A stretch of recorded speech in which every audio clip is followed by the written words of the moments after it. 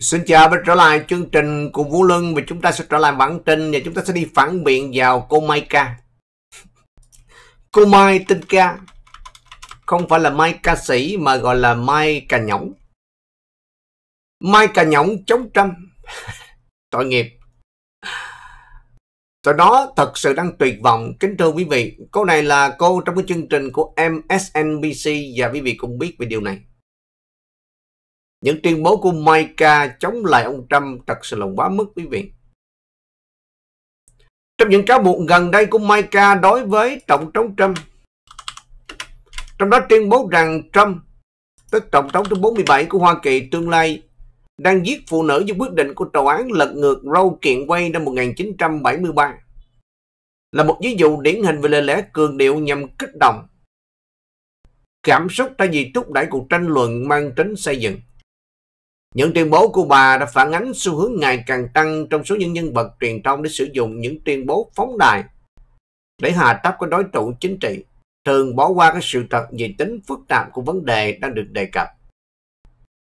Micah cho biết, cái quan trọng như chủ nghĩa phát xít của Trump là một câu chuyện chính hàng ngày. Ông ta thân thiện với những kẻ độc tài, nói ám ảnh của ông ta Hitler giờ đây đã được tiết lộ.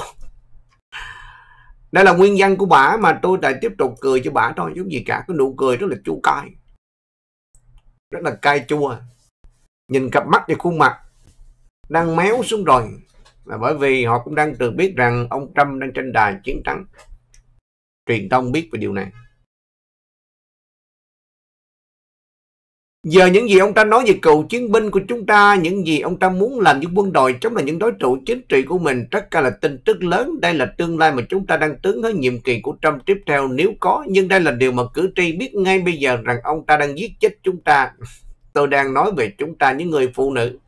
Ông ta đang giết chết chúng ta, ông ta đang đặt chúng ta vì quýnh tính nguy hiểm, ông ta đang khiến chúng ta sợ sinh con. Trời đất ơi, con nhỏ này nó bệnh kinh khủng luôn có thể tôi là người bệnh đầu tiên khi mà tôi ngồi tôi nghe cái đoạn này, tôi dịch lại cho quý vị. Ông ta đang đặt sức khỏe sinh sản của chúng ta vào tình trạng nguy hiểm một số người phụ nữ đã chết vì điều này, bà nói thêm. Vì vậy, chúng ta có thể ngay bây giờ những gì sắp xảy ra, nhân tiện những đề, tiêu đề, bài báo cáo rất hay này không bị những kẻ ngu ngốc chất với những gì Trump nói gì Hitler, điều đó cực kỳ quan trọng để biết nhưng tôi hiểu rằng những người bận rộn, những người đang khai thác những câu chuyện không thể hiểu vì chúng ta đã có được tự do, chúng ta đã thoải mái, chúng ta không thể hiểu được những điều đó. Chúng tôi hiểu điều đó, tôi xác nhận rằng thật khó để đi từ đến đây đến đó. Đó là nơi chúng ta đang đến. Tôi hy vọng chúng ta không tìm ra những cách khó khăn nhưng những gì đã xảy ra những người phụ nữ bây giờ có thật nó đang diễn ra trên khắp đất nước. Tóm lại là bà đang rất là tuyệt vọng. Xin chia buồn cùng cái đám của tụi bay ăn gian nói dối không biết cái đám ăn gian nói dối này của 2020 mà tại sao? Mà đắc cử cho 2020 tới ngày hôm nay chúng ta cũng đang đặt câu hỏi, tại sao? Tại vì tụi bay thay đổi cuộc chơi, cuộc bầu cử chứ tại sao? Tụi bay làm cho người ta không biết chắc. Đây là lời phản biện trong toàn bộ những lời tuyên bố trắng trợn của con nhỏ tên Mai họ ca. Tuyên bố của Mai ca đã bỏ qua một khía cạnh cơ bản về nền quản trị của Hoa Kỳ sự phân chia về quyền lực. Lật ngược rau kiện quay năm 1973 không phải là hành động trực tiếp của trọng trong trần mà là quyết định của tòa án tối cao. Tòa án bao gồm những thẩm phán được bổ nhiệm trọn đời có mục đích phi chính trị, đã diễn đạt cái hiến pháp theo cách trả lại vấn đề phá thai cho từng tiểu bang. Phán quyết này cho phép tiểu bang tự quyết định luật phá thai riêng của mình một động thái phù hợp với nguyên tắc của liên bang. Vai trò của Tổng thống Trump trong việc bổ nhiệm các thẩm phán giúp định hình quyết định này nằm trong quyền hạn được trao cho mọi tổng thống. Việc bổ nhiệm các thẩm phán tòa án tối cao không phải vượt quá quyền hạn mà là nghĩa vụ theo hiến pháp. Nỗ lực của con Mai Tinh Ca nhằm liên kết trực tiếp quá trình tư pháp này và cáo buộc Tổng thống Trump giết chết phụ nữ. Không chỉ gây hiểu lầm mà còn bỏ qua thực tế nhiều tiểu bang vẫn tiếp tục cung cấp quyền tiếp cận hợp pháp đối với phá thai. Tuyên bố của con nhỏ Mai tên Ca, tức là Mai Ca, rằng ông ta đang giết chúng ta, chúng ta sợ sinh con càng bóp méo thực tế của tình hình. Cái bối cảnh pháp lý liên quan đến phá thai thật sự đã thay đổi. Việc coi cái hành động của Tổng thống Trump ngang hàng với gây nguy hiểm tính mạng của người phụ nữ trên quy mô lớn mà bỏ qua một số cái sự thật quan trọng Đầu tiên các tiểu bang đã thông qua cái luật hạn chế phá thai. Đã thực hiện trong cái quá trình, ở thông qua cái quy trình lập pháp riêng của họ. Phản ánh cái quan điểm các đại diện được bầu của họ theo nghĩa mở rộng là các cử tri của họ. Hơn nữa, trong khi một số tiểu bang đã thông qua luật phá thai nghiêm ngặt, những tiểu bang khác vẫn duy trì hoặc thậm chí mở rộng quyền tiếp cận. Tuyên bố rằng sức khỏe sinh sản của người phụ nữ trên toàn nước Mỹ gặp khó khăn nguy hiểm không tính sự đa dạng của luật pháp và tính khả dụng của dịch vụ chăm sóc y tế khắp cả nước. Cái chiến dịch hù dọa như thế này không giúp thúc đẩy đối thoại sâu sắc nhiều vấn đề nhạy cảm thay vào đó chúng làm cuộc tranh luận trở nên hoàn toàn phân cực hơn. Từ từ, cái căn bệnh này rất khó chữa. Cái căn bệnh mà DTS, TDS rất khó chữa. Và tôi đang chia buồn cho những con người này sẽ có được một ác mộng 4 năm tiếp theo. Micah cũng ám chỉ những tiết lộ về nỗi ám ảnh Hitler của Tổng thống Trump. Những tuyên bố này nhiều lần đã bị bác bỏ hoặc chứng minh dựa trên những báo cáo chưa được xác nhận. Là một ví dụ khác nỗ lực của giới truyền thông nhằm liên kết Tổng thống Trump với chủ nghĩa độc tài để tác động đến dư luận. Những khẳng định như vậy thường dựa trên những tài khoản hoặc là tin đồn. Chúng không đưa ra bất kỳ những bằng chứng cụ thể nào về sự ngưỡng mộ của Tổng thống Trump với những độc tài. Trong suốt nhiệm kỳ của mình, Tổng thống Trump đã theo đuổi những chính sách củng cố quyền của Hoa Kỳ và ưu tiên lợi ích của người dân Hoa Kỳ. Thay vì thân thiện với những nhà độc tài, ông đứng lên chống lại những nguyên trụ quốc tế như Trung Cộng, Iran tham gia vào cuộc đàm phán khó khăn với Triều Tiên và củng cố liên minh những quốc gia như Israel. Vì con mụ Micah đã miêu tả Tổng thống Trump là người đàn ông mạnh mẽ, nguy hiểm đã bỏ qua những thành tựu chính sách đối ngoại này, thay vào đó là sử dụng cuộc tấn công vô căn cứ cá nhân đối với Tổng thống Trump. Điều đáng lo ngại nhất bình luận của Micah là cách họ đã biến nỗi sợ hãi thành vũ khí thao túng nhận thức của công chúng. Tuyên bố của bà Tổng thống Trump đang đặt bằng sống phụ nữ về dòng nguy hiểm.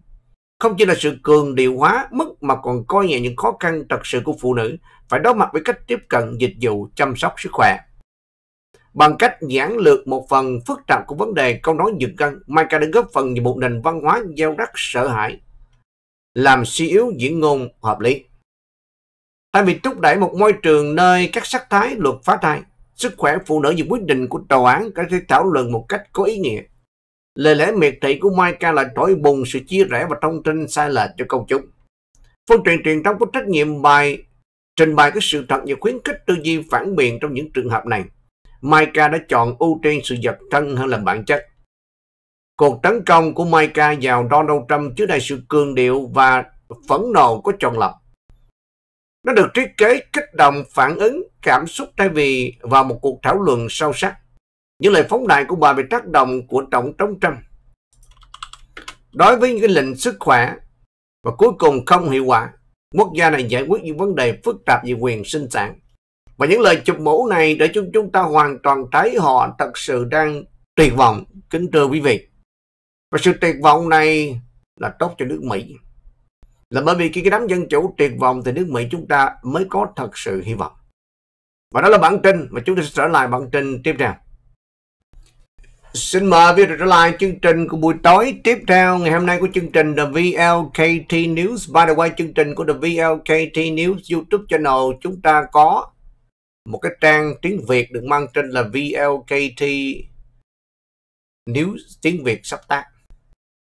Trên mạng chúng ta không đâu khác là Saramuchi một cái thằng khùng chưa từng có trong lịch sử của nước Mỹ từng là cựu giám đốc truyền thông dưới thời của Tổng thống Trump những lời chỉ trích của ông để chứng minh sự tuyệt vọng của đảng Dân Chủ khi ông Trump đang thật sự trên đà của sự chiến thắng. Cựu giám đốc truyền thông của Trump Anthony Scaramucci gần đây đã lên tiếng chỉ trích mạnh mẽ Tổng thống Trump và tuyên bố rằng nếu tái đắc cử, Trump sẽ gây ra tham nhũng và nạn tham nhũng và cuối cùng là bạo lực. Mặc dù tuyên bố giật gân của Scaramucci có mục đích để lôi kéo cử tri khỏi ông Trump, nhưng chúng thiếu thực chất và bỏ qua thành tích thực tế của Trump, đặc biệt là chính sách kinh tế, quan hệ đối ngoại và quản trị. Kinh khủng về điều này. Điều mà thật sự chúng ta hoàn toàn choáng váng khi những con người này lại đưa ra những cái nhận định mà những con người này được ban danh là có ăn, có học và có tiền. Saramuchi cho biết, câu hỏi thật sự là bạn phải hỏi, khi chuyện gì đang xảy ra những người ủng hộ dành cho Donald Trump, nếu bạn có 40 người trong tòa bà đốc, bao gồm cả tôi nói với bạn rằng người đó nguy hiểm đến mức độ nào. Cái thằng này là thằng bệnh quý vị. Giả sử chúng tôi làm việc tại một công ty dược phẩm, chúng tôi nói với bạn viên thuốc mà bạn sắp đưa cho một thành viên gia đình của bạn sẽ giết chết họ, bạn sẽ đưa viên thuốc đó chứ. Có điều gì đó trong cơ thể chính trị ngày nay mà chúng ta nắm bắt tôi nghĩ có những người thích kiểu đàn ông mạnh mẽ tôi chỉ ở đây nhắn nhủ với người rằng Chuck Hill cuối cùng đã đúng rằng nền dân chủ chỉ là một hình thức chính phủ tồi tệ khi xem xét cả hình thức chính phủ khác. Vì vậy, những gì chúng ta biết lãnh đạo mạnh mẽ là rất thiếu, nhiều sự tham nhũng, chế độ tham nhũng thì cuối cùng là bạo lực. Cái thằng này nó nói chuyện nó giống như là nó nói chuyện giống như là chúng ta chưa sống bao giờ thời của Tổng thống Trump với quý vị. Nó đang mơ mơ màng màng, nó nghĩ rằng chắc chúng ta bị khùng. Vì vậy tôi yêu cầu mọi người xem xét lại bỏ phiếu cho Donald Trump. Chúng ta biết rằng kế hoạch kinh tế của máy không tốt bằng kế hoạch kinh tế của Phó Tổng thống. Trời là coi kinh hoàng chưa. Chúng ta biết rằng tốt hay không tốt đó. Ông Sarah Kuchi. Sarah Muchi, cái mu của con chi, Muchi. Tốt hay không tốt chúng tôi là biết rồi. Chúng tôi đã sống qua giai thời của Trump Chứ đâu phải là chúng tôi chưa sống qua thời của Trump đó ông nội. Ông ngồi đó, ông đưa những cái luận điểm mà chỉ thật sự là nó làm cho chúng ta càng ngày càng khinh bỉ những nhân vật như là Saramuchi. Tuyên bố của Karamuchi rằng việc tái đắc cử của Tổng thống Donald Trump sẽ dẫn đến tham nhũng, chế độ tham nhũng là một cuộc tấn công phóng đại vô căn cứ. Trong suốt nhiệm kỳ tổng thống của Trump, chính quyền của ông phải đối mặt với sự giám sát chưa từng có từ giới truyền thông các đối thủ chính trị và cơ quan điều tra, mặc dù vậy không có bằng chứng đáng tin cậy nào về tình trạng tham nhũng lan rộng xuất hiện.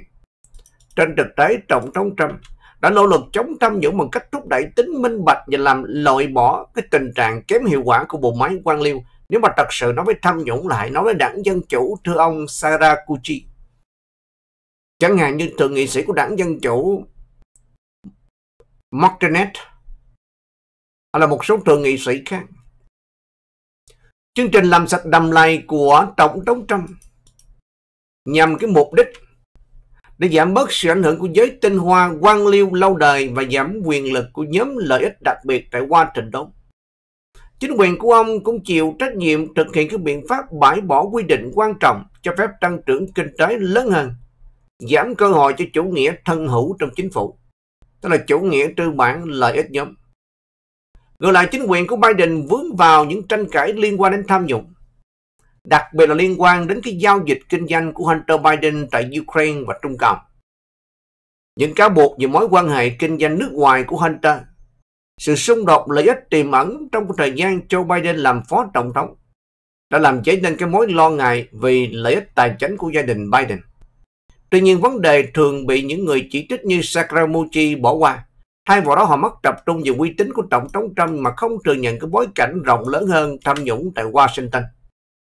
Bằng chứng nào cho rằng Tổng thống Trump tạo ra một chế độ tham nhũng? Bây giờ tụi bay cứ tưởng tượng rằng là tụi bay mỗi trưa, mỗi sáng, buổi chiều lên cái chương trình của cánh tả, dục vài cái cục phân vào mặt của những khán giả tụi bay và hy vọng rằng những cục phân này sẽ dính vào mặt của tụi nó để cầm cái lá phiếu bỏ cho ông Trump nhưng thật đáng tiếc cử tri của người Mỹ sẽ bỏ cái lá phiếu vào cái túi tiền của họ. Bằng cách cáo buộc chống Tổng thống Trump có khả năng tham nhũng, Saramuchi đã bỏ những thành tựu quan trọng mà Tổng thống Trump đạt được để giảm bớt sự phình to của chính phủ nhằm bảo vệ tiền thuế của người dân. Những nỗ lực của cựu Tổng thống Trump nhằm hạn chế viện trợ nước ngoài yêu cầu tổ chức quốc tế chịu trách nhiệm, đàm phán các thỏa thuận thương mại công bằng hơn đều nói lên sự mong muốn bảo vệ người Mỹ chứ không phải là khai thác người Mỹ. Saramuchi còn tiếp tục tố cáo cho rằng sự lãnh đạo của Tổng thống Trump sẽ dẫn đến bạo lực nhưng tuyên bố này có vẻ giống như sự giao đắc nội sợ hãi hơn là sự khẳng định vô căn cứ. Dưới thời của Tổng thống Trump, cái đất nước đã chứng kiến các cuộc biểu tình bất ổn dân sự nhưng phần lớn diễn ra để phản ứng sự kiện bên ngoài không phải là kết quả trực tiếp với chính sách của Tổng thống Trump. Trên thực tế, Tổng thống Trump vẫn duy trì cái lập trường mạnh mẽ của mình về luật pháp và trật tự, ủng hộ cải cách cảnh sát và an ninh của quốc gia. Trong nhiệm kỳ tổng thống của mình, ông liên tục phản đối các phong trào cấp tiến đe dọa đến sự an toàn của những thành phố Mỹ. Ngược lại, tình trạng bất ổn sau lễ nhậm chức của Joe Biden vào 2021, đặc biệt là tình trạng tội phạm liên tục gia tăng và các vụ bạo lực gia tăng, đặt ra câu hỏi liệu Tổng thống Trump liệu Tổng thống Trump yêu dấu của chúng ta có phải là nguyên nhân gốc rễ của tình trạng bạo lực hay không? Hay là những vấn đề xã hội rộng lớn hơn đang diễn ra? Sanamuchi không xem xét sự phức tạp thay vào đó đổ lỗi cho Tổng thống Trump vì tình trạng bất ổn trong chính quyền bất kể ai lãnh đạo. Điều này rất trắng trợn. Nhưng rồi một cái quan điểm cuối cùng trong cái chính, trong cái sự mà so sánh của Saramuchi đó, có hai cái tuyên bố cuối cùng. Cái tuyên bố thứ nhất là về kinh tế, cái tuyên bố thứ hai là về chính sách đối ngoại. Bây giờ chúng ta sẽ đi phản biện hai cái tuyên bố này để chứng minh rằng là gì? Đây là cơ hội để những cử tri của người Mỹ phải so sánh lại những gì mà ông Trump đã làm về vấn đề kinh tế và vấn đề đối ngoại với thời của Biden, Kamala Harris và thời của Tổng thống Trump. So sánh về kinh tế Saramochi tuyên bố kế hoạch kinh tế của Kamala vượt trội hơn Tổng thống Trump. Khẳng định này không chỉ mang tính suy đoán mà còn trái ngược dữ liệu về hiệu suất kinh tế từ nhiệm kỳ của Tổng thống Trump. Cái chính sách kinh tế của Trump. Tổng thống yêu dấu của chúng ta đã đạt được đến cái việc tạo việc làm đáng kể, cắt giảm lợi thuế cho tầng lớp lao động trung lưu và đầu tư tăng trưởng kinh doanh. Với thời chính quyền của ông, Tỷ lệ thất nghiệp đã giảm xuống mức thấp kỷ lục, đặc biệt là trong nhóm triệu số và Hoa Kỳ chứng kiến tăng trưởng GDP mạnh mẽ trước thời kỳ của đại dịch COVID-19. Người lại chính quyền của Biden và Harris phải đối mặt với những thách thức kinh tế đáng kể bao gồm tỷ lệ lạm phát chưa từng thấy trong nhiều thập kỷ, các vấn đề chuỗi cung ứng và giá xăng tăng. Việc Harris ủng hộ chính sách kinh tế như các nhiệm vụ biến đổi khí hậu mạnh mẽ tới sức cao. Hơn, đã bị nhiều nhà lãnh đạo, doanh nghiệp và nhà kinh tế chỉ trích vì họ tin rằng các động thái như vậy sẽ kiềm hãm tăng trưởng, gây hại cho tầng lớp của Trung Lưu. Lời khen ngợi của Sadamuchi về chính sách kinh tế của Harris đã bỏ qua những thực tế này và lời khẳng định của ông về kế hoạch của Tổng thống Trump kém cỏi không phù hợp với sự thịnh vượng kinh tế thời của Trump.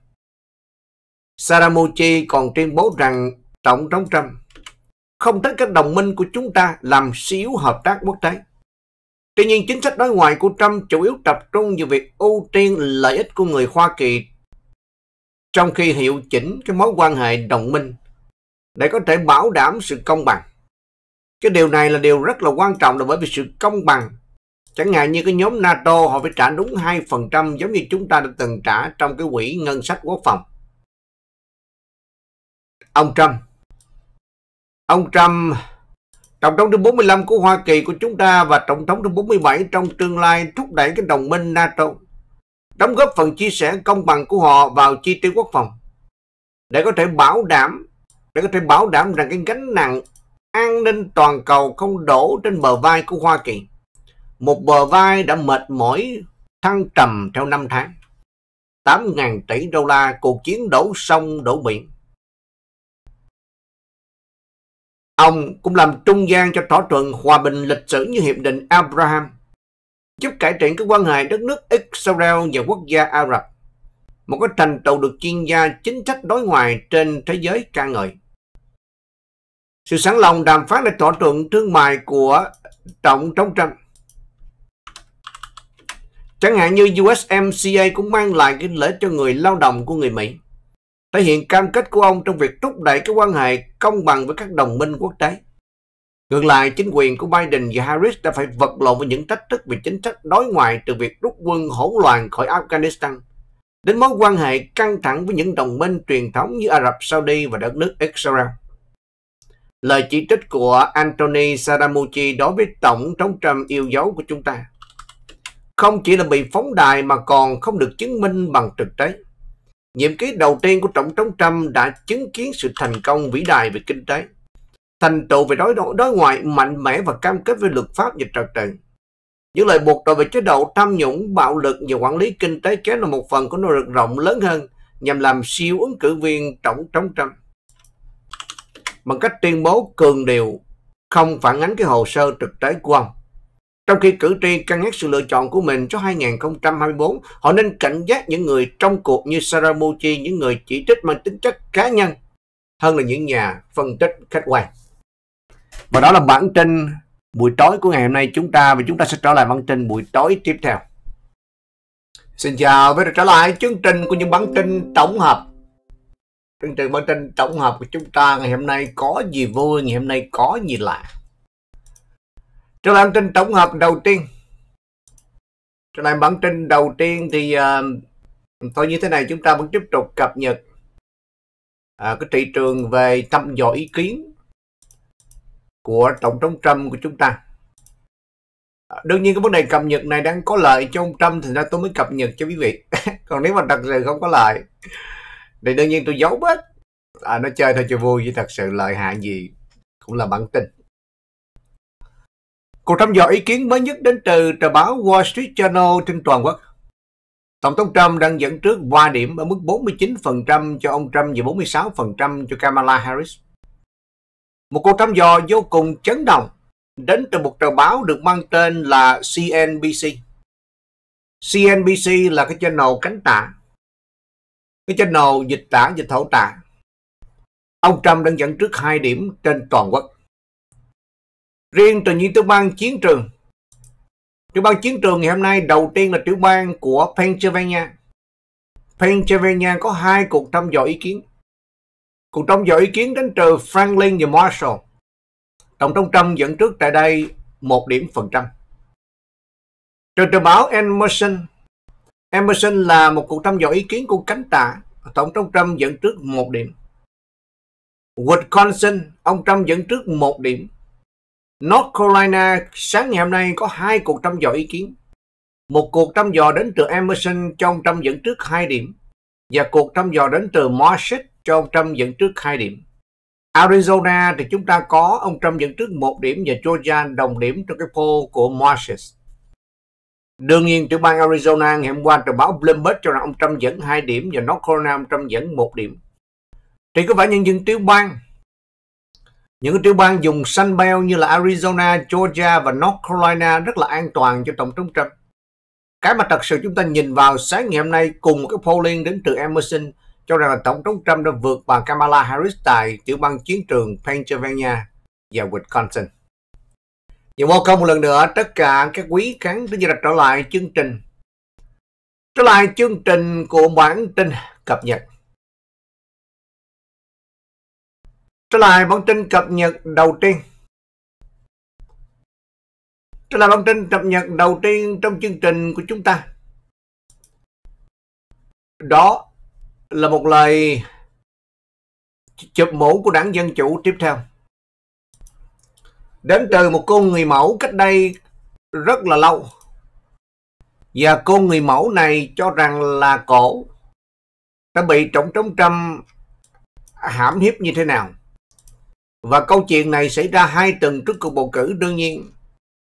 Chúng ta sẽ hoàn toàn không tin tưởng về điều này, nhưng mà đây là bản tin tôi vẫn tiếp tục cập nhật cho quý vị. Mấy cái vụ tố cáo tình dục này nếu quý vị nó làm cho chúng ta nhớ lại câu chuyện của đệ nhị phu quân. Chồng của bà Kamala Harris cũng bị tố cáo tương tự nhưng mà truyền thông có vẻ như che đậy vì điều này. Nếu mà thật sự tố cáo này đối với Tổng thống Trump thì là cơ hội tuyệt vời cho truyền thông nó bắt đầu để chứng minh một sự mâu thuẫn đạo đức giả.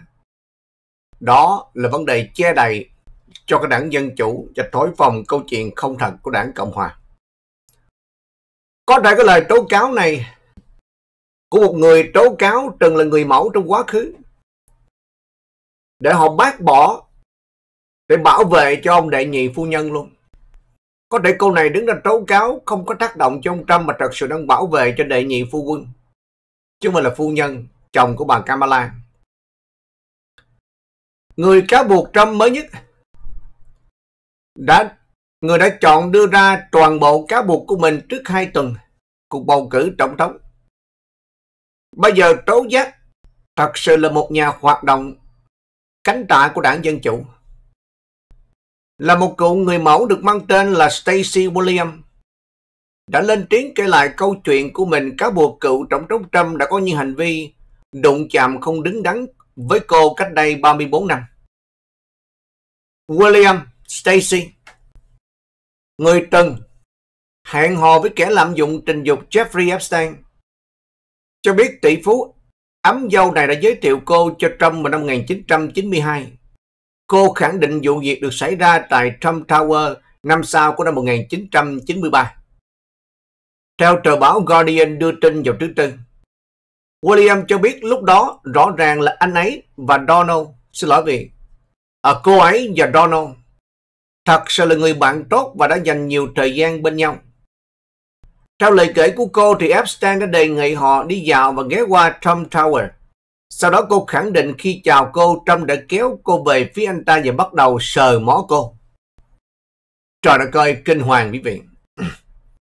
quý vị nghĩ làm sao mà một người lạ quắc lạ quơ một người lạ quắc lạ quơ mà đến thăm tổng thống Trump ông Trump sờ mó bà Trong một tờ báo cánh tả Guardian đã đưa ra cô ấy nói rằng ông Trump đã đặt tay lên khắp ngực của tôi cũng như eo và mông của cô ấy cô ấy nói rằng cô ấy đã chết lặng vì cô ấy vô cùng bối rối về những gì đang xảy ra đồng thời cô ấy nói rằng cô ấy tin rằng cô ấy đã nhìn thấy hai người đàn ông mỉm cười với nhau.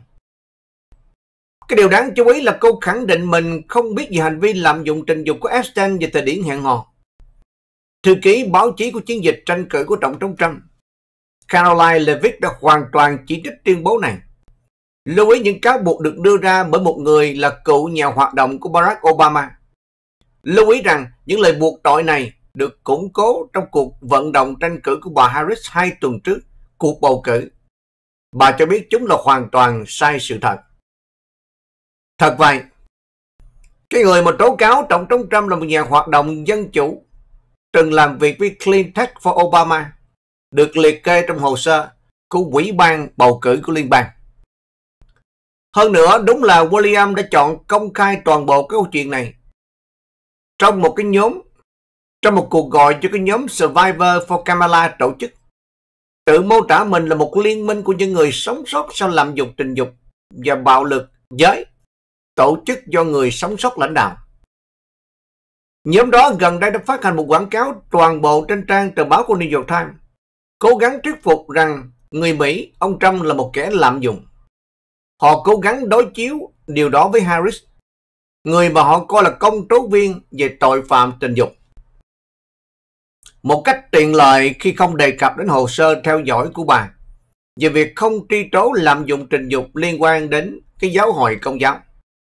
Người ta vẫn chưa rõ liệu những cáo buộc này thật sự là điều bất ngờ của tháng 10 của phe cánh tả hay không. Nhưng bà Levitt tuyên bố rằng rõ ràng câu chuyện giả mạo này là do chiến dịch tranh cử của bà Kamala Harris dựng lên.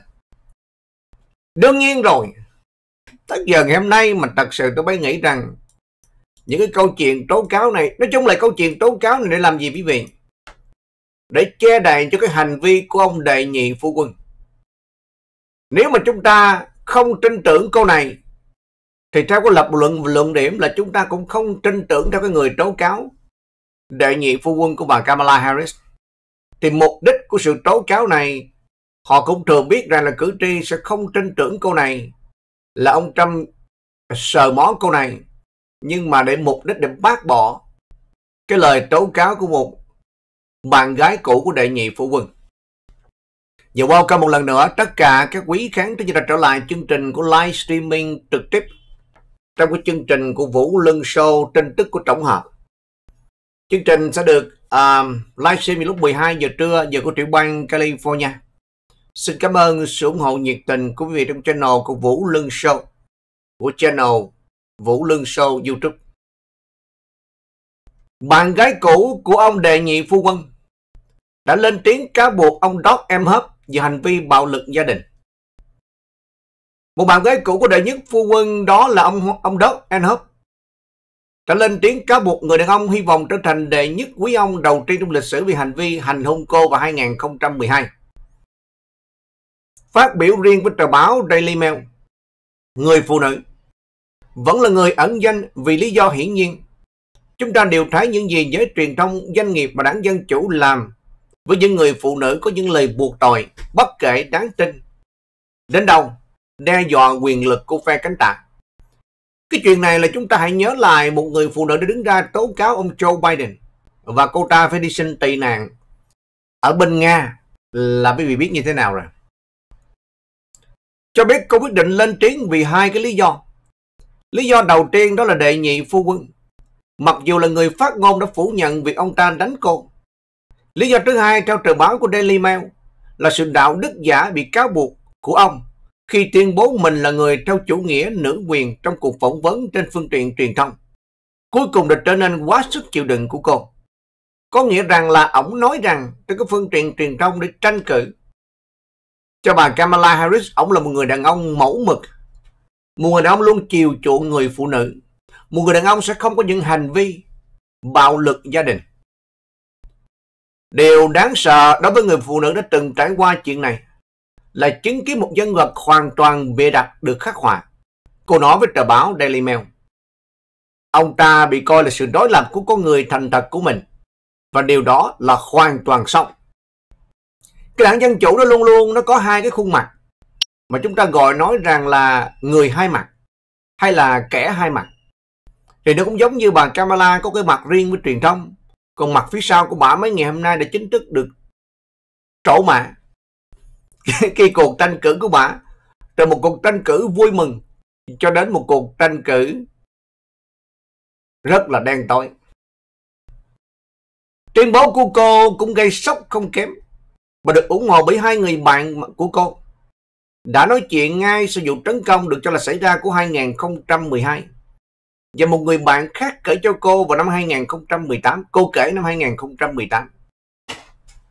Cô ấy kể rằng, hai người đang xếp hàng chờ lấy xe sau khi tham dự một sự kiện liên hoan phim Canning Canon Cô ấy đã nói chuyện với một nhân viên đổ xe với hy vọng cái tiền bo lớn hơn để giúp họ lấy xe nhanh hơn.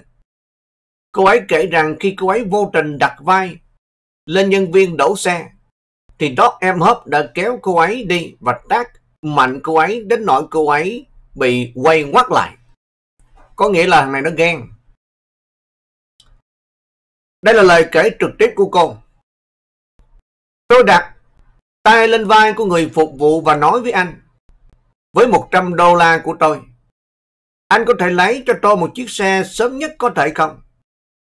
Khi tôi đang nói chuyện với ông ta, thì ông đó em hấp đã ra khỏi hàng tiến đến. Quay tôi lại bằng cái vai phải của tôi. Hoàn toàn bất ngờ. Tôi không chuẩn bị. Tôi đang đi dài cao gót 4 inch, mặc một chiếc váy dài, lúc đó là khoảng 2 và 3 giờ sáng. Ông đó em hớp đã tác tôi mạnh đến nỗi tôi phải ngoắt lại và tôi hoàn toàn xong. Cô ấy nói rằng cô ấy đã tác lại anh ta. Nhưng vào khoảnh khắc đó, chiếc mặt nạ của anh ta đã rơi xuống và tôi đã nhìn thấy cái bộ mặt tối của anh ta. Trời tối, tôi không nói được tiếng Pháp. Những người bạn đi cùng của tôi đang có một khoảng thời gian tuyệt vời. Tôi xấu hổ và nhục nhã trải nghiệm cái tuyệt vời này biến thành một cảnh tượng bạo lực. Tôi không thể tin là anh ta vừa tác tôi. Tôi nghĩ tôi đã nói với anh trong xe. Anh bị sao vậy? Tại sao anh lại làm thế? Và điều duy nhất tôi có thể moi được ông ta là ông ta nghĩ đến tôi khi tán tỉnh người phục vụ đậu xe. À chính xác luôn, lần này là trùm ghen nè. Hàng chi bà Kamala cũng tre trô về điều này. Hãy nói rằng lời cáo buộc này có nhiều bằng chứng kết hợp bất kỳ cái điều gì khi mà Christine Bailey Ford đã đưa ra chống lại thẩm phán Brett Kavanaugh. Hai người mà tố cáo em hấp đã nói vào thời điểm đó là chìa khóa. Động cơ của cô khi nói dối vào 2012 là gì?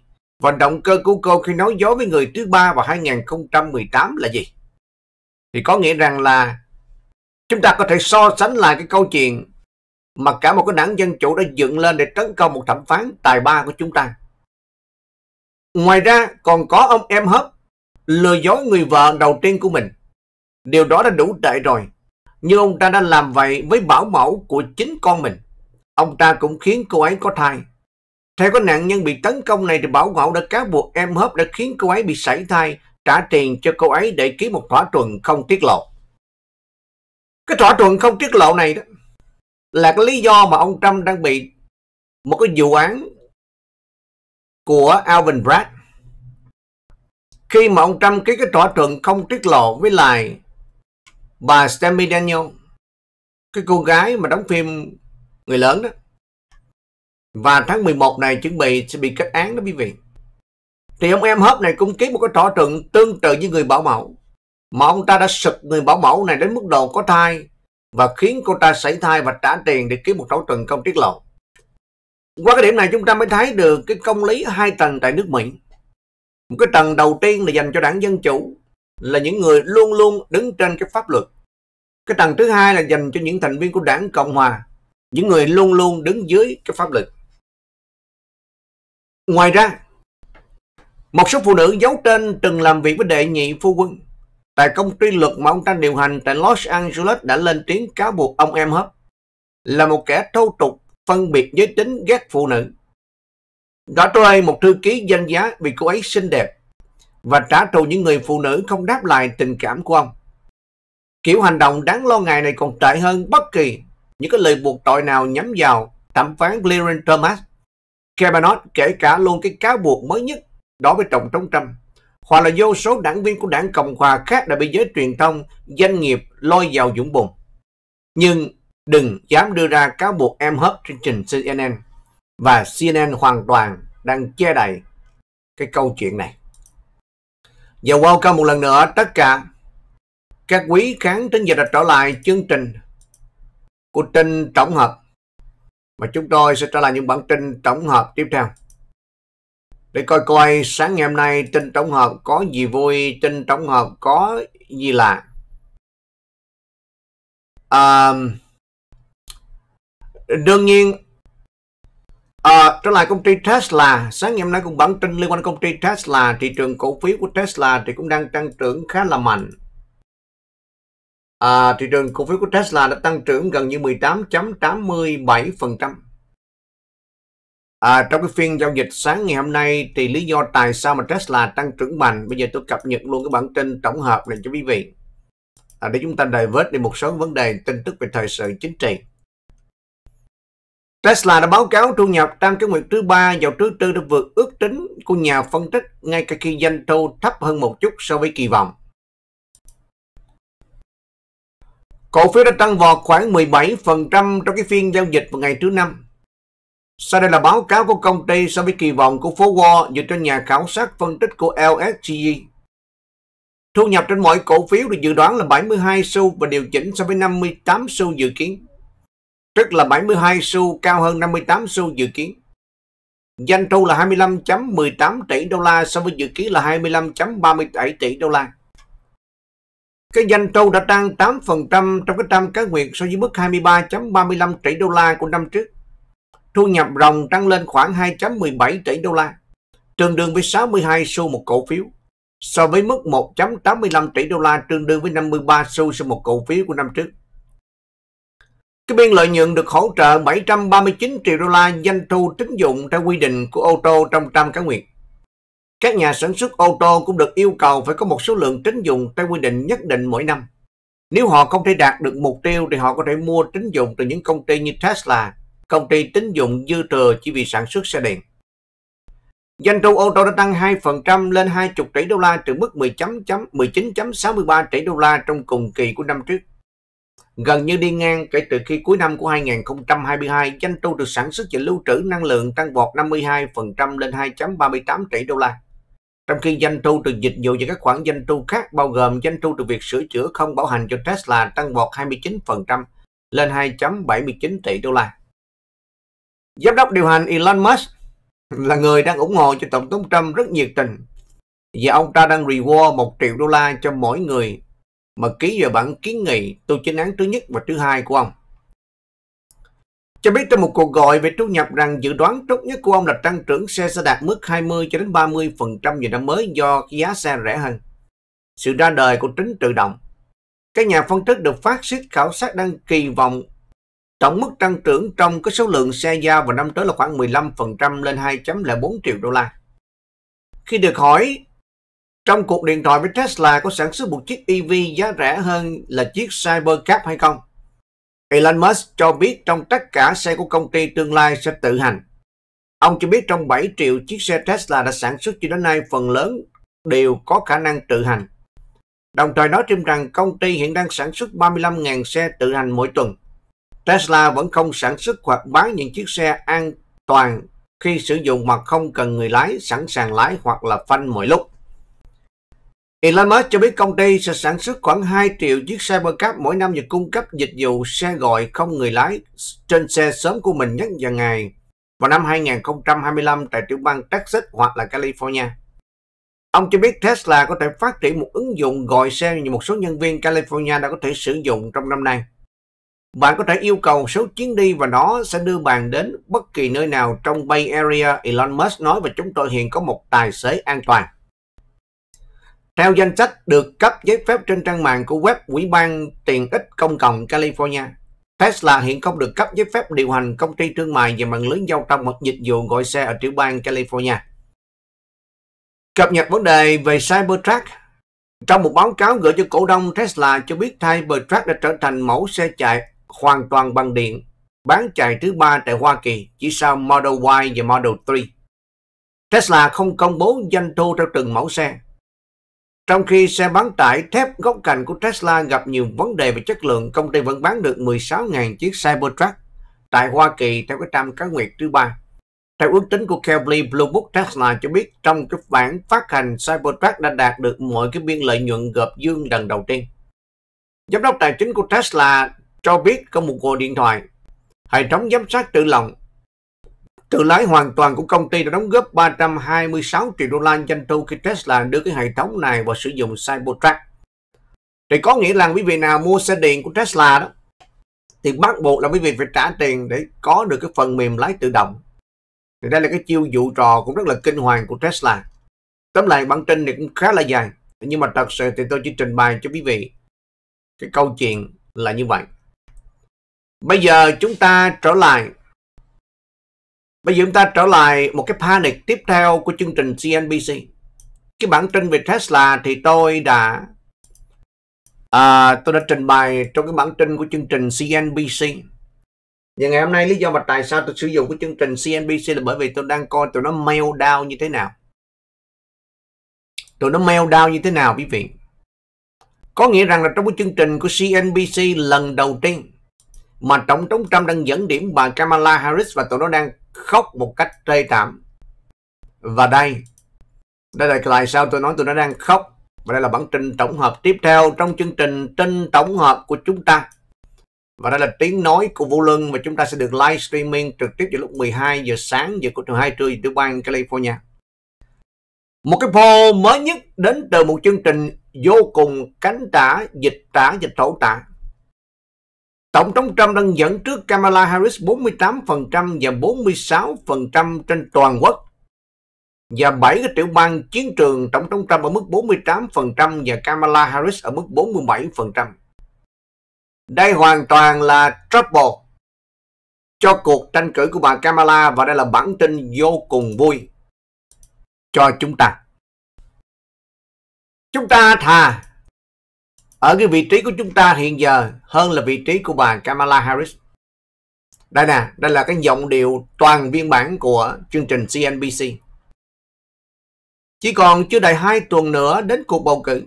Khảo sát kinh tế trên toàn nước Mỹ của CNBC cho thấy cuộc đua chức tổng thống vẫn là cuộc đua song mã trên toàn quốc và tiểu bang chiến trường. Không thay đổi so với cuộc khảo sát hồi tháng 8 mặc dù có một số động thái đáng chú ý của nhóm chủ chốt. Không thay đổi. Ông Trump dẫn trước Kamala Harris 2 điểm mà không thay đổi. Tụi bay bẻ chữ cũng vừa vừa thôi chứ. Trên toàn quốc, cựu Tổng thống Trump dẫn trước Kamala Harris 48 và 46 trong phạm vi sai số 3.1%. Họ nói là cuộc thăm dò này không thay đổi so với tháng 8. Mấy anh mấy chị, mấy anh chị lừa đảo cử tri cũng vừa phải thôi. Nó thay đổi rất nhiều mặc dù con số này nó thật sự không có thay đổi lý do cái chương trình CNBC cái tháng 8 là nó polling trong cái giai đoạn mà ông Joe Biden vừa ngã ngửa. Lúc đó là ông Trump đang leading rất nhiều, sau đó tụi nó thổi phòng mà Kamala Harris throughout cả một câu chuyện về cuộc đại hội đú đẩn của đảng Dân Chủ nè. Cuộc tranh luận cho nó thổi phòng cuộc tranh luận ba đối một này và nhiều thứ khác nhau trong tháng 9 và cả luôn cái tháng 10. Hai tháng này nó dao động rất lớn có nghĩa rằng là tụi bay thật sự đang lừa đảo cử tri. Tụi bay cũng thừa biết được rằng là Kamala đang thảm bại. Tại bảy tiểu bang chiến trường, Tổng thống Trump dẫn trước 48% và 47% cái biên độ sai số là 4%. Cuộc khảo sát được tiến hành từ ngày 15 cho đến ngày 19 tháng 10 có tổng số mẫu cử tri là 1.000 cử tri. Mẫu trên toàn quốc sử dụng 180 cử tri từ những tiểu bang Arizona, Georgia, Michigan, Nevada, Bắc Carolina, Pennsylvania và Wisconsin. Thêm 400 cử tri được phỏng vấn tại tiểu bang có đây là tổng số mẫu là 586 từ những tiểu bang chiến trường. Trên cả phạm vi của quốc gia và tại tiểu bang chiến trường, vấn đề kinh tế vẫn là mối quan tâm quan trọng của cử tri. Tổng thống Trump đang dẫn đầu trong số cử tri ưu tiên làm phát nền kinh tế và giải quyết nhu cầu của tầng lớp trung lưu. Với tỷ lệ 42% so với 24% cử tri cho biết họ khá hơn mặt tài chính nếu Trump đắc cử. 29% cho biết tình hình tài chính của họ sẽ không thay đổi bất kể ai được bầu. Tôi giơ tay đầu tiên nè.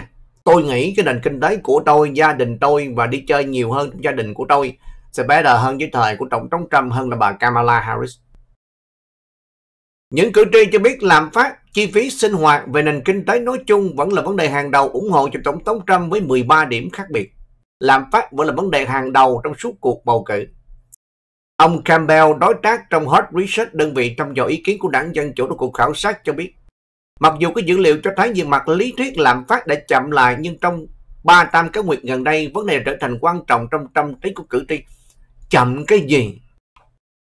Tụi bay đi lừa đảo cử tri thì có, trận đó cứ người ta đi ăn, người ta đi uống, người ta đi chợ, người ta đi bố, người ta đổ xăng, người ta renew bảo hiểm xe, người ta renew bảo hiểm sức khỏe, người ta renew những cái này cái người ta thừa biết được. Giống như tiền nước nhà tôi cũng tăng rồi nè Cuộc khảo sát cho thấy Tổng thống Trump có lợi 35 điểm trong số những cử tri quan tâm đến vấn đề nhập cư và lợi thế 19 điểm về vấn đề tội phạm và an toàn.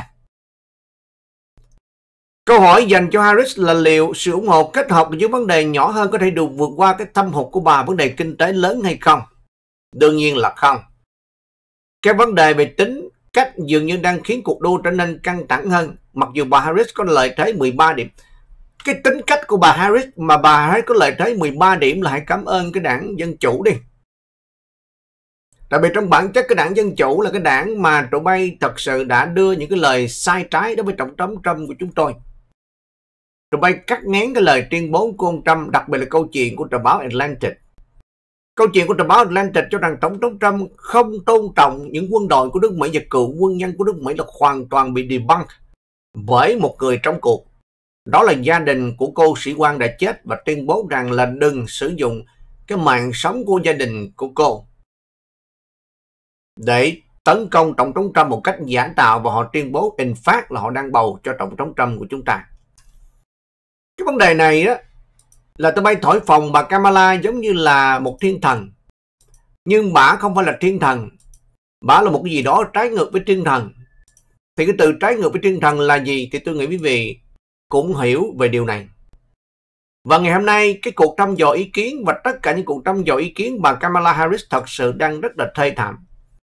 Trung bình, Tổng thống Trump của chúng ta dẫn trước 2.2 điểm tại tiểu bang Georgia, Arizona 1.5 điểm, Wisconsin 0.2 điểm, Michigan 0.2 điểm, Nevada 0.7 điểm, Pennsylvania 0.6 điểm. Và những cái dẫn trung bình này trên tờ báo The Real Clear Politics là dẫn trung bình tốt nhất, có lợi nhất cho Tổng thống Trump kể từ 2016 và 2020. Quý vị nên nhớ một điều như thế này nè. Những cuộc thăm dò ý kiến hiện giờ có lợi cho Tổng thống Trump hơn cả 2016 và 2020. Thì kỳ này, cái sự nổi tiếng của Tổng thống Trump sẽ giúp đỡ đảng Cộng hòa của chúng ta có lại 4 ghế trên Thượng viện và những tiểu bang chiến trường như là tiểu bang Wisconsin, Pennsylvania, Michigan, và ông J.D. Vance sẽ giúp đảng Cộng hòa chúng ta lật đổ cái ghế tại tiểu bang Ohio. Nếu mà đảng Cộng hòa chúng ta có 4 ghế nữa thì chúng ta sẽ tổng cộng có 55 ghế trên thượng viện. Và nếu cuộc thăm dò ý kiến toàn quốc mà đang tiếp tục trending có lợi cho Tổng thống Trump của chúng ta, thì đương nhiên chúng ta sẽ nắm lại cái hạ viện và tôi tin tưởng rằng tiểu bang California chúng ta sẽ giữ được ghế của bà Michelle Steele và lật lại cái ghế của bà Kelly Porter. Và đó là chương trình của tin tổng hợp và chúng ta sẽ tiếp tục những chương trình tin tổng hợp tiếp theo. Chào tạm biệt và hẹn gặp lại trong bản tin tổng hợp tiếp theo. Xin chào và trở lại chương trình của chương bản tin chấn động và đây là tiếng nói của Vũ Lương. Xin cảm ơn sự ủng hộ nhiệt tình của quý vị à, qua ba cái channel của tôi. Đầu tiên đó là channel của The VLKT News. Channel thứ hai là VLKT Business và channel thứ ba là Vũ Lương Show. Trên mạng chúng ta không đâu khác đó là con trai cưng của ông Joe Biden và một cái nhân vật phía trên đó là ông John Brennan.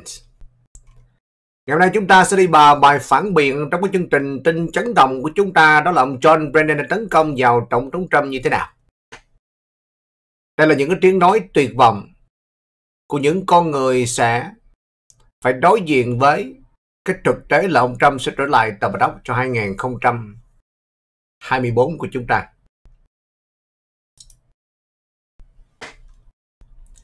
John Brennan một cựu giám đốc CIA một lần đã chỉ trích Tổng thống Trump, gọi đó là vô lý và kinh khủng. Khi rất nhiều người Mỹ ủng hộ cho cựu tổng thống. Những lời bình luận của Brennan được đưa ra trong cuộc phỏng vấn của chương trình CNBC đã phản ánh một kiểu hùng biện cường điệu từ cộng đồng trình báo nhằm cái mục đích làm mất uy tín của Tổng thống Trump. Thì đây là những tiếng nói mà đối với tôi đó tuyệt vọng rồi. Khi mà chúng ta nhìn tất cả những cuộc phỏng vấn trong cái chương trình của CNBC hay kể cả luôn chương trình của CNN thì bắt đầu, chúng ta đã thấy cái mỏ của tụi nó nó sệ xuống, cái mặt tụi nó sệ xuống.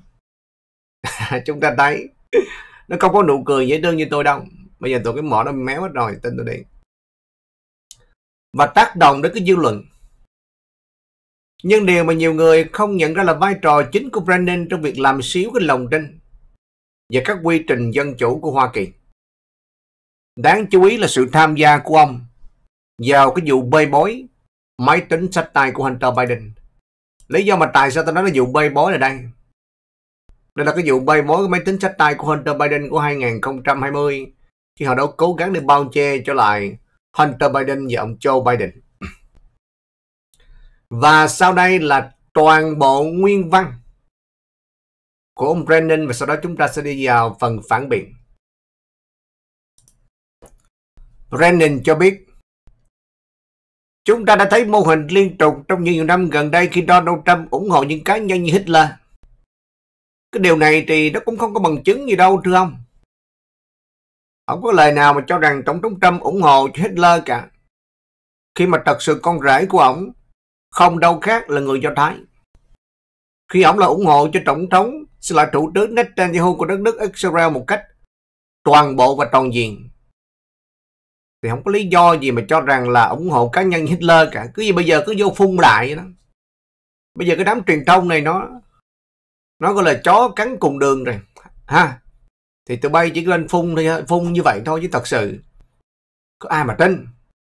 Coi thường quân đội có trường quân đội. Có trường quân đội. Có trường quân đội mà ổng là một vị trọng thống gần cả trăm năm trở lại đây không một cuộc chiến mới nào cả. Không có cuộc chiến mới, có nghĩa là không đổ máu, không đổ tài chánh. Tiết kiệm tiền cho người dân đóng thuế, tiết kiệm nhân mạng cho những người ủng hộ trong quân đội của Hoa Kỳ. Ai là người xuất hiện để tưởng niệm 13 người lính Mỹ đã chết một cách thảm hại tại Afghanistan. Trong khi đó thì Joe Biden và Kamala Harris đang trốn somewhere in America và ngày tưởng niệm rút quân trục quần cái đây không lâu. ủng hộ chủ nghĩa phát xít ủng hộ chủ nghĩa phát xít Ê, trời đất ơi quý vị quý vị có cảm tưởng rằng là tụi nó giống như là tranh sao quả không nó đang truyền tải thông tin cho những người sao quả, còn mà những người trên trái đất mà sống tại những đất nước tiểu bang của đất nước Mỹ chúng ta thì chúng ta đã sống qua cái thời của Trump rồi. Có hành động nào mà ông Trump thật sự là một chủ nghĩa phát xít hay không? Đó là những gì John Kelly rằng ông ta là phát xít giống như Mark Milley, cựu chủ tịch Hội đồng Tham mưu trưởng Liên quân nói rằng Donald Trump là phát xít đến tận xương tủy. Điều đó chứng minh Donald Trump không quan tâm đến việc thúc đẩy hệ thống dân chủ các giá trị của chúng ta với tư cách là người Mỹ. Do đó một lần nữa tôi thấy thật vô lý và kinh hoàng khi người Mỹ sẵn sàng bác bỏ những bình luận này. Bây giờ chỉ có cờ hó nó tin mày thôi chứ ai tin mày. Không ai tin cả. Do đó một lần nữa tôi thật cử tri chú quyết định vẫn còn ngoài kia, tôi nghĩ họ thật sự phải tính đến điều này khi bạn có một cá nhân như John Kelly và Mark Milley nói rằng về Donald Trump. Đây là một đất nước, bạn muốn con cháu mình lớn lên hay không, tôi chắc chắn là hy vọng là không. Nhưng mày đi bao che cho cái thằng này nè. Cái thằng mà cầm cái điếu thuốc hút. Bao che cho máy tính sách tay của Hunter Biden. Bao che cho những sự dâm đảng dục trong cái máy tính cách tay đó cho Joe Biden. Trời đất ơi, mấy cái đám đạo đức giả mà đi nói đạo đức. Thường thường những cái đứa nào mà nói đạo đức là toàn là đạo đức giả không? Sống không có đạo đức. Trời đất ơi, đây là một đất nước mà bạn muốn con cháu mình lớn lên không? Ông nói thêm những bình luận quyết định riêng tư cô ấy rất phù hợp với lời lẽ qua Mỹ mà chúng ta đã được từng thấy một lần nữa đã không phù hợp với những gì đất nước chúng ta đang bảo vệ trong suốt thời gian qua. Cho dù đó là mặt an ninh, một trận đấu đối ngoại, trận đấu chính sách trong nước, tôi nghĩ rằng lo lắng hơn từ phía cá nhân thực sự ông ấy là Donald Trump trở lại tòa bà đốc hoặc nội các trong chính quyền của ông và những người biết ông quyết tâm thực hiện một chương trình nghị sự thúc đẩy các suy yếu nguyên tắc của đất nước vĩ đại của chúng ta toàn là những lời rất đào đức giả. Trăm phần trăm về điều này. Từ từ. Những bài bình luận này đó, đối với tôi là bình luận tuyệt vọng. Nếu mà thật sự tôi may cảm thấy bà Kamala Harris có thể chiến thắng thì không có lý do gì. Không có lý do gì mà tụi bay lại lên phun cớt ra như vậy. Liệu rằng có dính hay không? Tôi hoàn toàn không biết. Tiền tay tiền tay. Quý vị cố gắng hãy kéo tôi xuống lại giùm tôi để tôi có thể có được cái nút cái nút bạc nha quý vị. At minimum rồi phải có cái nút bạc nha. Ok, rồi nè. Đây là bài phản biện của tôi. Vai trò của Brennan trong việc che giấu câu chuyện về máy tính sách tay của Hunter Biden. Vào năm 2020, Brennan cùng với 50 quan chức tình báo khác đã ký một cái lá thư tuyên bố rằng câu chuyện máy tính sách tay của Hunter Biden tất cả những dấu hiệu điển hình của hoạt động thông tin sai lệch của Nga. Tuyên bố này được dựa và đưa ra vào thời điểm quan trọng của chiến dịch tranh cử tổng thống được sử dụng rộng rãi làm mất uy tín của câu chuyện. Mặc dù thực tế là máy tính sách tay và nội dung của nó sau đó được xác minh là sự thật. FBI biết được cái máy tính sách tay này là thật. Lúc mà cái câu chuyện này break out, nhưng mà FBI vẫn tiếp tục im lặng để cho 51 cựu quan chức trình báo và lá thư đó được thành lập bởi ông Anthony Blinken. Thành ra khuôn mặt của đám đảng Dân Chủ cặp mắt nó lúc nào cũng gian cả. Ngày hôm nay tôi có chia sẻ cho quý vị một cái đoạn video clip ngắn quảng cáo chống lại Derek Trần. Ứng cử viên của đảng Dân Dân Chủ tại đây chống lại bà Michelle Steele. Quý vị vào nghe cái đoạn đó trong cái Facebook của tôi, rồi bị nhìn cặp mắt nó dùm tôi.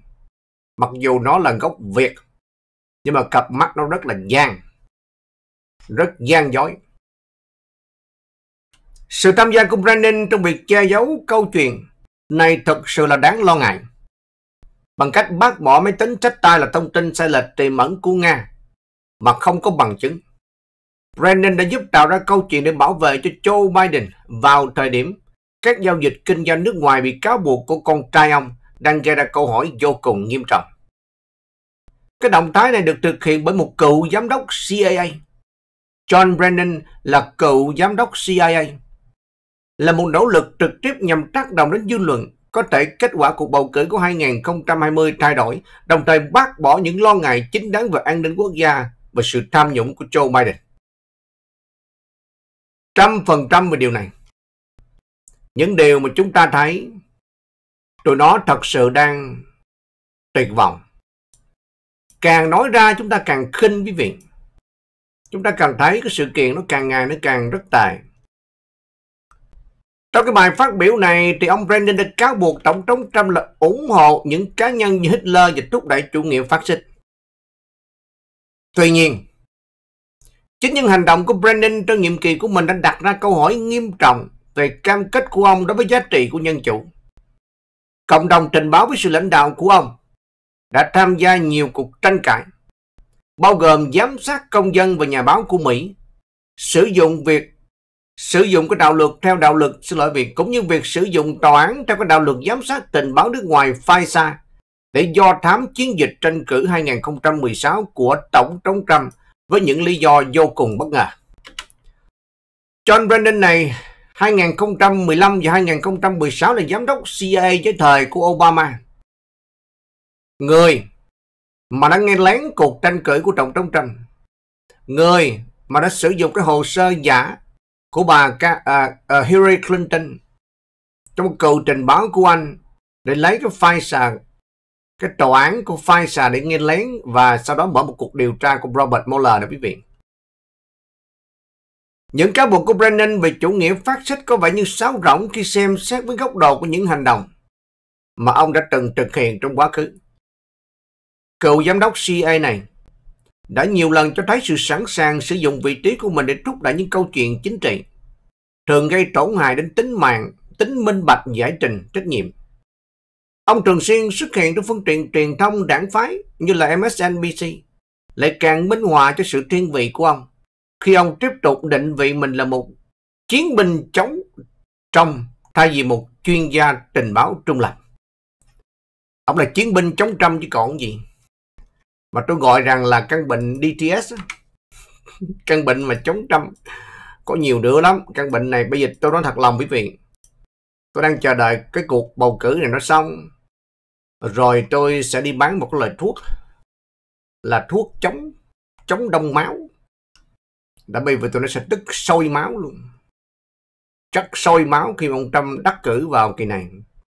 Và cái căn bệnh TDS của tụi nó sẽ trở nên trầm trọng hơn.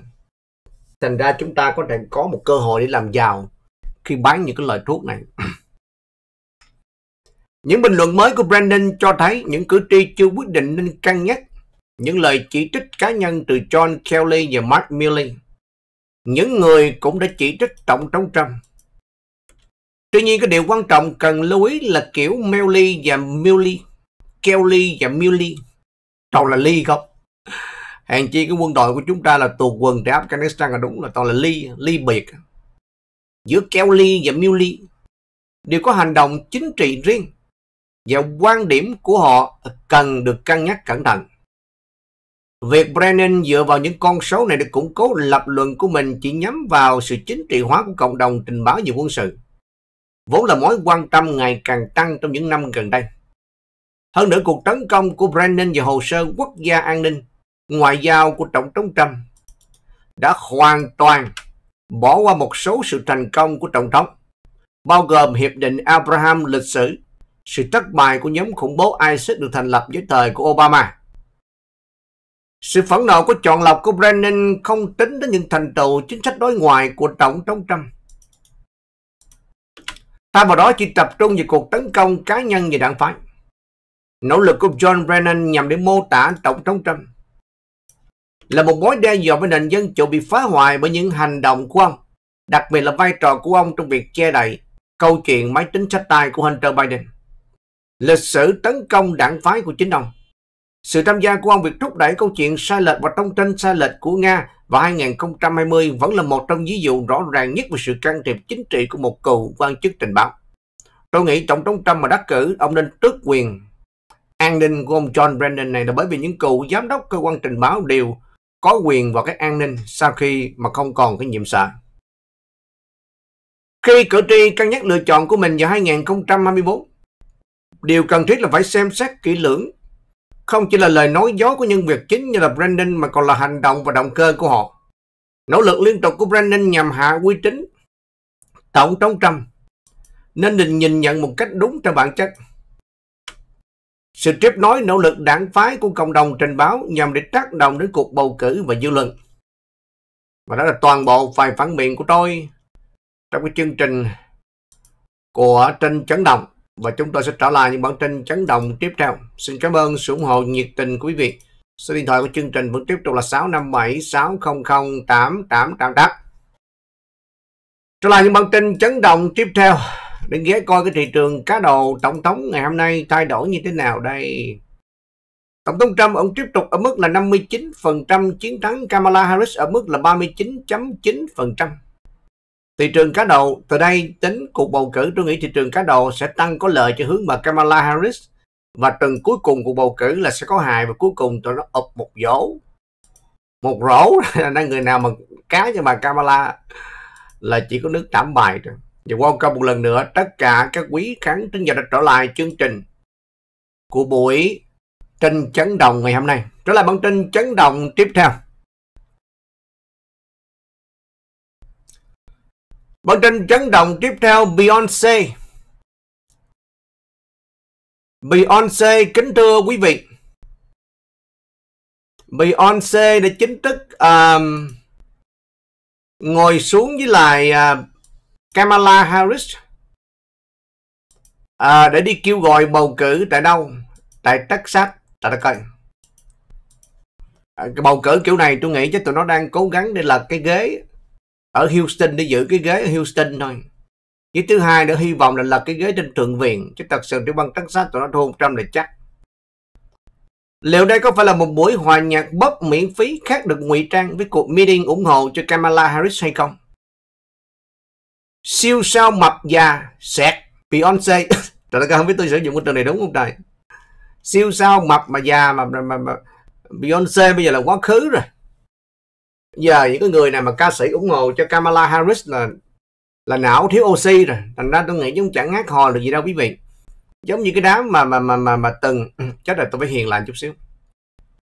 Giống với những ca sĩ đã từng tuyên bố rằng là làm nên lịch sử của 2016 trong đó có ca sĩ Đơn Nguyên Đơn Nguyên Nguyễn Cao cồng Di rồi nhiều cái nhân vật khác nhau chẳng hạn như là Thằng Hề được mang tên là Tầm Quay.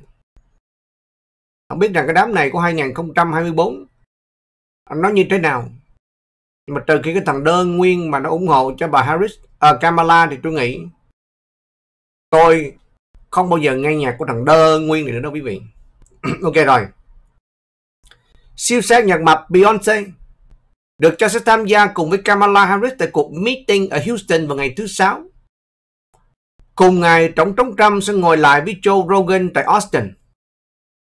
Beyonce dự kiến sẽ biểu diễn theo một nguồn tin giấu tên được trực tiếp sự kiện này đối với chương trình cánh tả dịch tả nhật thấu tả NBC News. Tờ Washington Post là tờ đầu tiên đưa tin về sự xuất hiện của Beyoncé.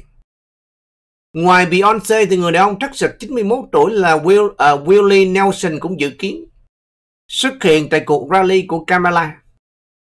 Các cuộc thăm dò gần đây cho thấy Texas hoàn toàn ủng hộ cho Tổng thống Trump.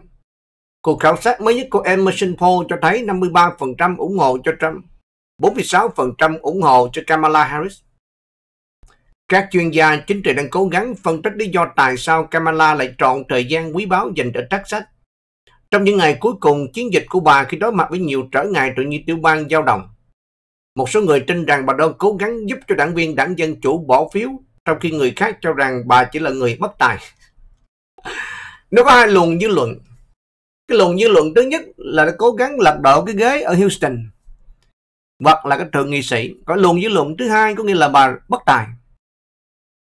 Rảnh quở đến cái mức độ mà đến tiểu bang Texas đi đi đấu mà trong cái đó có tiểu bang chiến địa như là Pennsylvania, Wisconsin và Michigan thì đang thảm bại. Kamala đã rất nhiều lần để dựa vào những ngôi sao nhạc bóp, bóp bóp bóp bóp bóp để thúc đẩy lượng xem người cuộc rally. Chẳng hạn như tuyển dụng rapper Megan Thee Stallion ngoài làm ban nhạc, Bon để biểu diễn trực tiếp trước khi mình lên sân khấu. Cái này đó, nếu mà thật sự phải nhờ những cái nhân vật này để có một cuộc rally lớn đó, thì tôi nghĩ chẳng khác bà giống như là một cánh hoa bên đường người ta đến để người ta xem ca nhạc thôi, chứ thật sự người ta không đến để nghe bà nói đâu đến cái mức độ mà trong cái cuộc trao ho của chương trình CNN cách đây không lâu, ngày hôm qua chứ đầu xa. Mà cái đám đảng Dân Chủ trên chương trình của CNN nó, nó lại còn nói rằng là tôi chán ngán ăn cái món salad này quá rồi.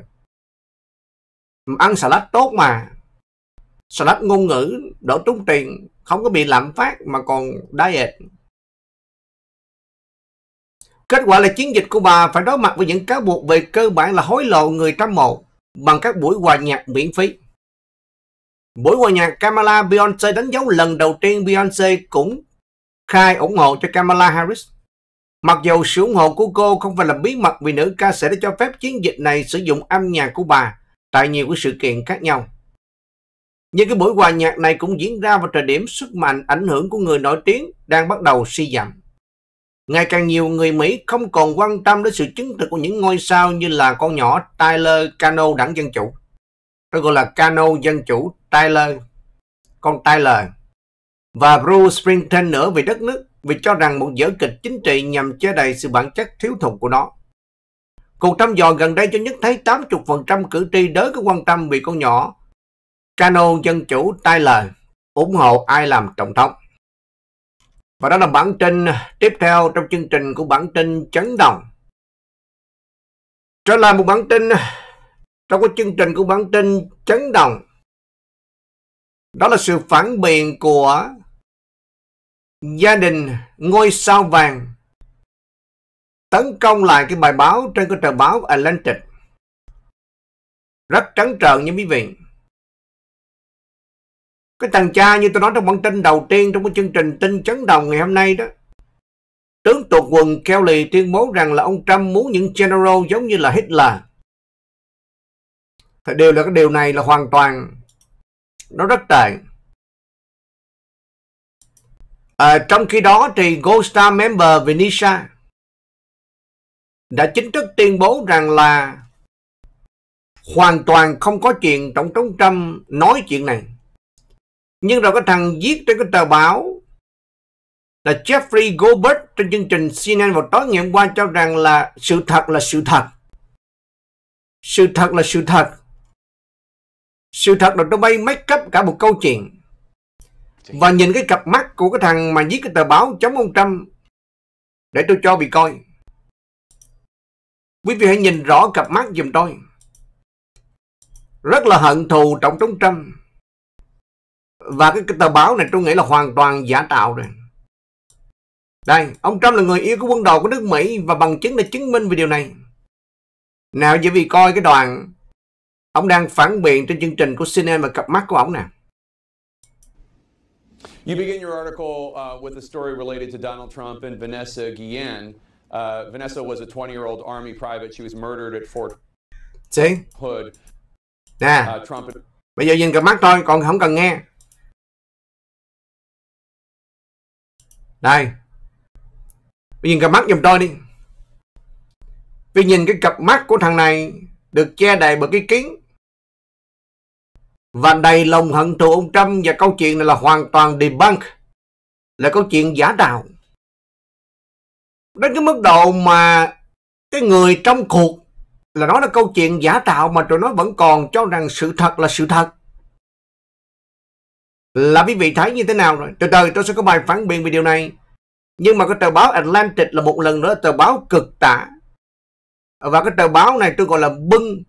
Và đương nhiên nó được cái giải bô xanh dưới thời của Kamala Harris và Joe Biden. Ok, rồi đó đó là cặp mắt cho vị coi đó ok, nhìn cặp mắt cho rõ nha. Đầu đầy lòng hận thù? Đầy lòng hận thù. Đầy sự gian dối, nó khác cặp mắt của tôi, nó dễ thương, ok? Ok, rồi. Bây giờ welcome một lần nữa tất cả các quý khán thính giả đã trở lại chương trình của tin chấn động. Trở lại bản tin chấn động tiếp theo trong chương trình của ngày hôm nay là gì? Wow. À, cổ phiếu của Tesla đã tăng trưởng gần như là 19.73%. Ngày hôm qua thì cổ phiếu Tesla ở mức là 213 đô la cho một cổ phiếu và đã tăng trưởng mạnh ngày hôm nay ở mức là 19.19%.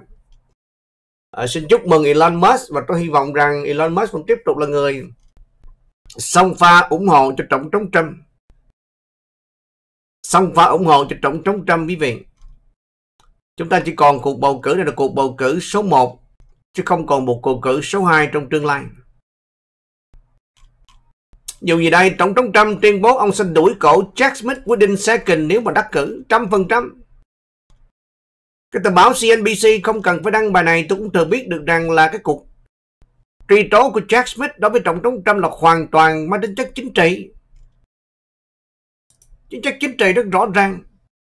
Ngày hôm nay nếu mà thật sự những vụ truy tố đó mà có tác động lớn với Tổng thống Trump đó quý vị, là ông Trump không lẫn cử viên của đảng Cộng Hòa đâu.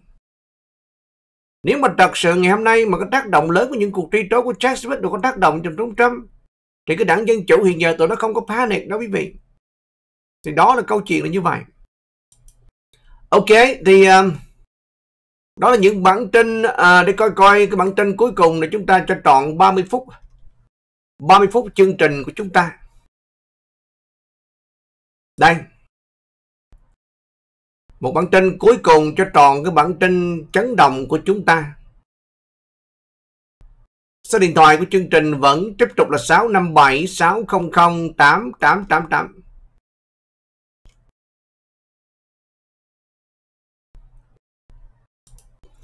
Một cái yếu tố mà đang thúc đẩy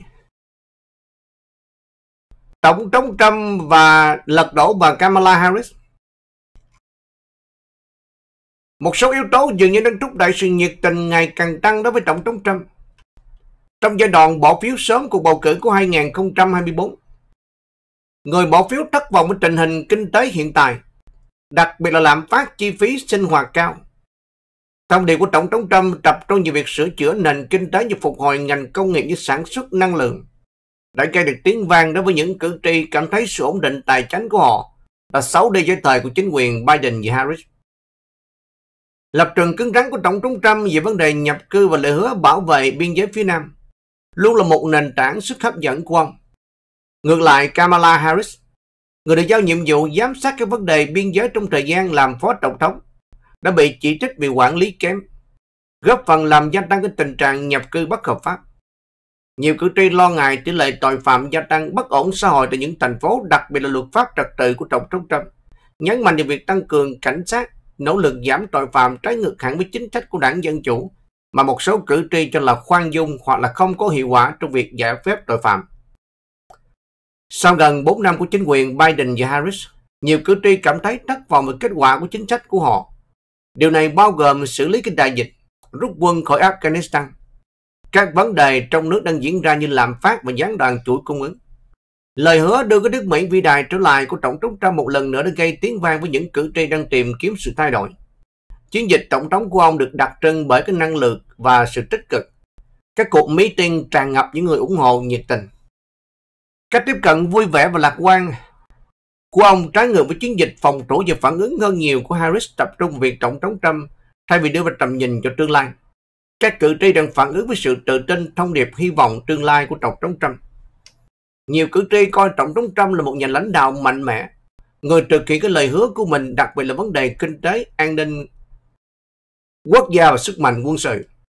Ngược lại, Harris phải đối mặt với những lời chỉ trích về phong cách lãnh đạo của mình. Với một số người coi bà là thiếu nhất đoán và thiếu quyết đoán, à, không hiệu quả, đặc biệt là khi so sánh cách tính cáo bạo của Tổng thống Trump. Chiến dịch của bà Kamala Harris khác với 2020 của Biden như thế nào? Chiến dịch của 2020 của Kamala Harris có nhiều điểm khác biệt so với chiến dịch thành công Biden 2020. Biden của 2020 tập trung vào việc khôi phục trình trạng bình thường giải quyết câu tập 19.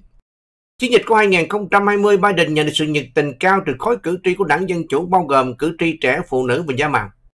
Mặt khác, Harris đang phải đối mặt với những thách thức về sự nhiệt tình của cử tri, đặc biệt là trong nhóm quan trọng đối với chiến thắng của Biden.